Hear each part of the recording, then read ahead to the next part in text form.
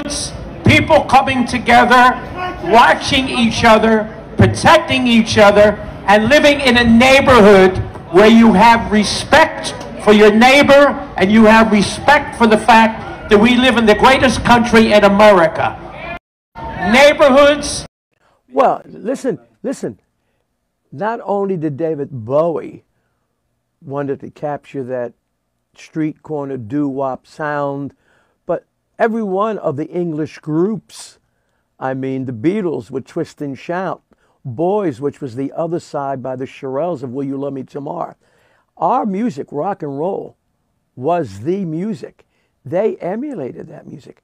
Elvis Presley will tell you that. American DJ Jerry Blavat, 82, dies suddenly. Jerry Blavat, the first taking Philadelphian disc jockey and Impressio known as the Greater with the Hitter, has died. His tearless promotion of pioneering black artists of the 1950s and 60s shaped the pop music culture of the city where he maintained an iconic presence of seven decades.